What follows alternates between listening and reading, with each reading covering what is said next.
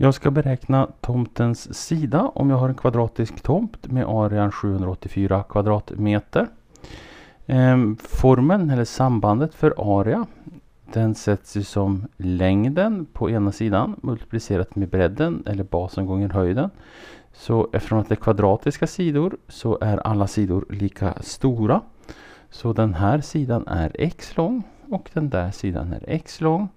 Och arean är då lika med den sidan multiplicerat med den sidan.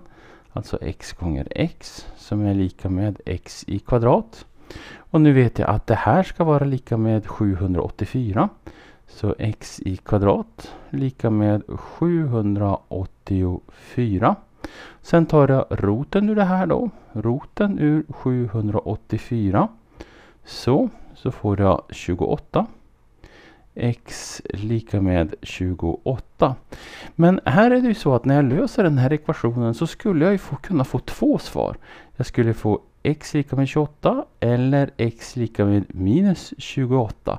För både plus 28 och minus 28 ger ju resultatet 784. Men nu är det så här att det här är ju ett exempel på en kvadratisk villatomt.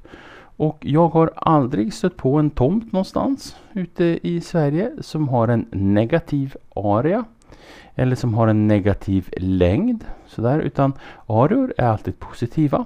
Och längder och bredder på eh, en tomt eller på ett hus eller på en bil eller sådär. De är alltid positiva.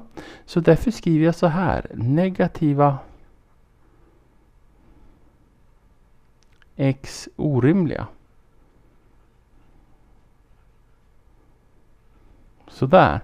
Och så sen så tar jag helt enkelt bort den andra lösningen och bara skriver den här lösningen. x lika med 28. Så svar. Tomtens sida är 28 meter lång.